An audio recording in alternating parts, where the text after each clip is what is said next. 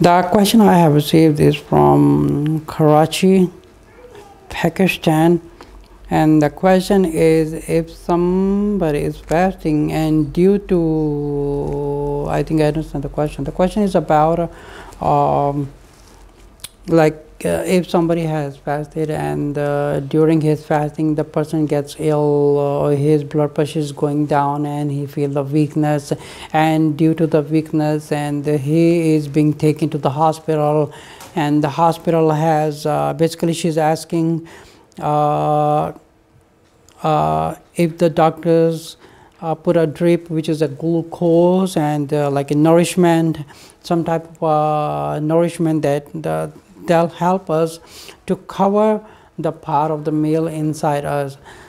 Uh, this does not uh, validate your uh, fasting. The, it breaks your fast because the glucose and any type of uh, nourishment either it's by uh, through an injection or it's through by putting a dip that they lay put you on a bed and they put a big bottle on the hanging down there and all the mm, the glucose going inside your body. So what actually the glucose and the nourishment do? Basically it uh, fills your requirement of the meal that you're supposed to be taking in a food.